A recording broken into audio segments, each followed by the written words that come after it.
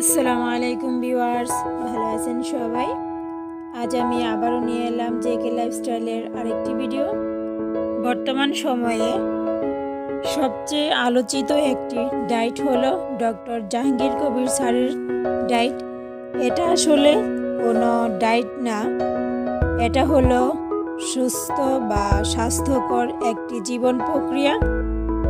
এই জীবন প্রক্রিয়ার মাধ্যমে আমরা জানা অজানা হাজারো রোগ থেকে মুক্তি পেতে পারি।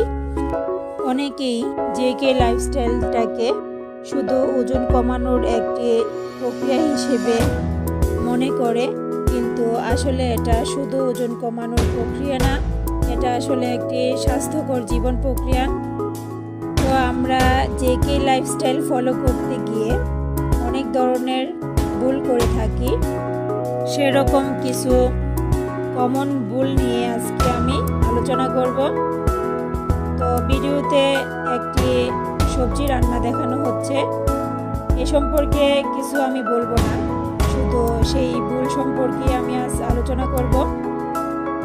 তো আপনাদের যদি প্রয়োজন হয়, তাহলে এই সবজির রেসিপিটিও দেখে নিতে পারেন। আমরা অনেকেই বলে থাকি যে, আমি তো সকল নিয়মকানুন সঠিকভাবেই মানছি। তবে কেন আমার ওজন আর কমছে না বা আমার ওজন কমছে না? সেক্ষেত্রে আমি বলব, আপনি নিশ্চয়ই কোনো না কোনো ভুল করে থাকেন। তবে কি কি কমন ভুল আমরা করে থাকি, তা কয়েকটি পয়েন্টের মাধ্যমে আমি আজ আলোচনা করব। এক নম্বর পয়েন্ট হলো, বেশি দ্রুত আগানো। অনেকেই এমন করেন যে ফাস্টিং দিয়েই ডায়েটটা শুরু করেন। অর্থাৎ, আমরা খুব দ্রুত ফাস্টিংয়ে চলে যেতে চাই। সেক্ষেত্রে কি হয়? তখন আমাদের শরীরের নানা ধরনের সাইড ইফেক্ট দেখা দেয়। আবার যদি দেরিতে ফাস্টিং করেন, তবেও ওজন কমাতে সময় বেশি লাগে। তাই আমাদের বুঝে শুনে ধীরে ধীরে সঠিক সময়ে ফাস্টিং করতে হবে।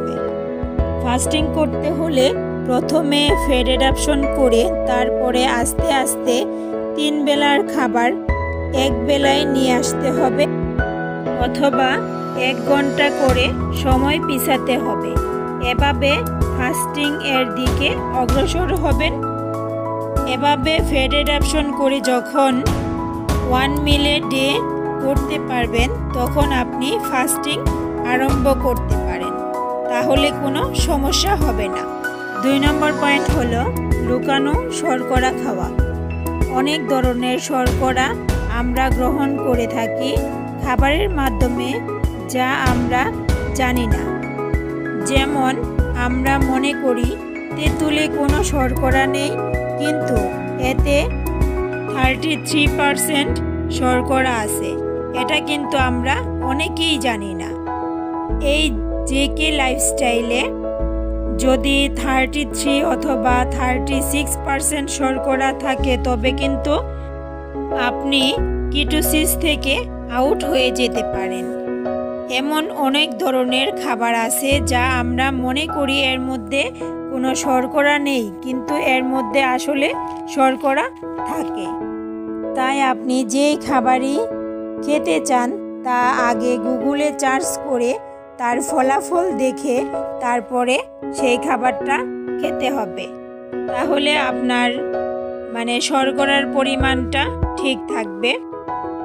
তিন নম্বর পয়েন্ট হলো চিট মিল নেওয়া। অনেকেই মনে করেন, অনেক দিন যাবৎ ফাস্টিং করছি বা ভাত, রুটি কিছুই খাচ্ছি না, তাহলে একদিন চিট ডে করা যাক। তো এই যে যে কে লাইফস্টাইলে আসলে চিট ডে বলতে কিছু নেই। এরকম চিট ডে করতে গেলে আপনাদের ওজনটা আবার বেড়ে যেতে পারে অথবা ওজনটা থেমেও যেতে পারে। চার নম্বর পয়েন্ট হলো পর্যাপ্ত পুষ্টিগুণ সমৃদ্ধ খাবার না খাওয়া।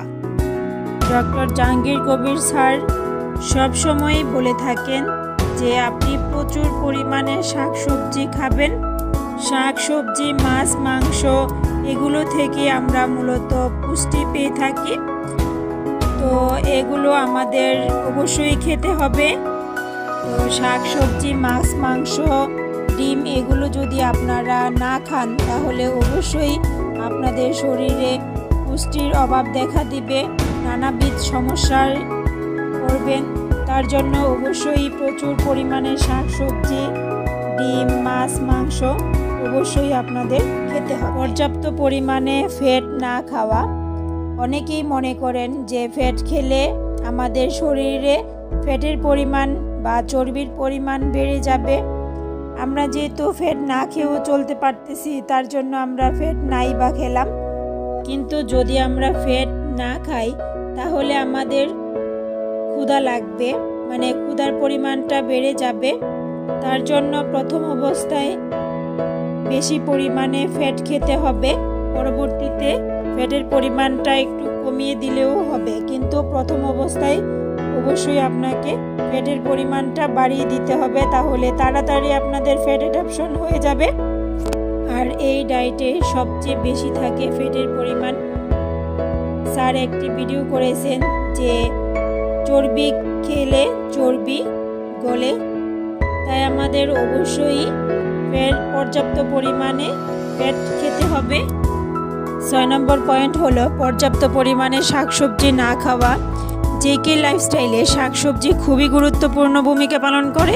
অনেকেই এমন মনে করেন যে, আমি তো না খেয়ে থাকতে পারতেছি, তাহলে এত শাকসবজি খেয়ে কি হবে? কিন্তু শাকসবজি থেকে আমরা পুষ্টি তো আছেই তার সাথে ইলেকট্রোলাইটের চাহিদাও পূরণ করে, যেমন পটাশিয়াম, ম্যাগনেশিয়াম। এই সকল ইলেকট্রোলাইট আমরা শাকসবজি থেকেই পেয়ে থাকি। পটাশিয়ামের অভাবে কিন্তু সবচেয়ে বেশি সাইড ইফেক্ট হয়। এই পর্যাপ্ত পরিমাণে শাকসবজি আমাদের অবশ্যই খেতে হবে। অনেকেই বলে থাকেন যে আমি শাকসবজি খেতে পারি না। এর বিকল্প হিসেবে কি খাওয়া যেতে পারে? সেক্ষেত্রে আমি বলব, শাকসবজির বিকল্প শুধু শাকসবজি নিজেই। সাত নম্বর পয়েন্ট হলো আর্টিফিশিয়াল সুইটনার খাওয়া। ডক্টর জাহাঙ্গীর কবির স্যার কিন্তু কোনো ধরনের আর্টিফিশিয়াল সুইটনার এলাও করে না। আট নম্বর পয়েন্ট হলো পর্যাপ্ত পরিমাণে না ঘুমানো। এই ডায়েটে অবশ্যই আপনাকে পর্যাপ্ত পরিমাণে ঘুমাতে হবে।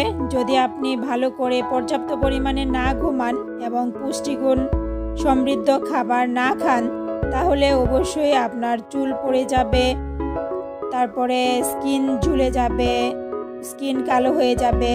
এগুলো আসলে আমাদের ভুল এই সকল সাইড ইফেক্টের জন্য আমরাই মূলত দায়ী।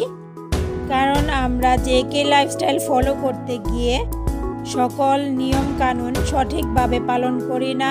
তার জন্য আমাদের এই সকল ফল বুক করতে হয়।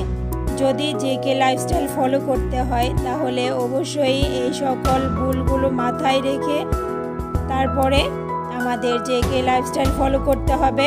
তাহলে আমরা এর সঠিক উপকারটা পাব। এই ছিল আজকে আমার কমন যে কয়েকটা ভুল আছে, যে কি লাইফস্টাইলে সেগুলো আমি দেখাতে চেষ্টা করেছি। এর ছাড়াও হয়তো আমরা অনেক ভুল করে থাকি। তো কেমন হলো আজকে আমার এই ভিডিওটা? যদি আপনাদের ভালো লাগে, তাহলে অবশ্যই আমার এই চ্যানেলটাকে সাবস্ক্রাইব করে পাশে থাকা বেল বাটনটি বাজিয়ে দিবেন এবং একটি লাইক দিয়ে পাশে থাকবেন।